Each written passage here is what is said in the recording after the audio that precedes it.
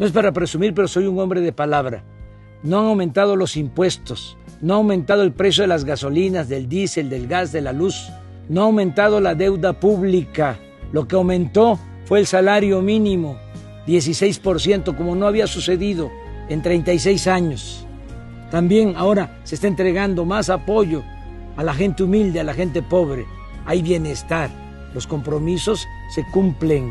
Primer informe. Gobierno de México.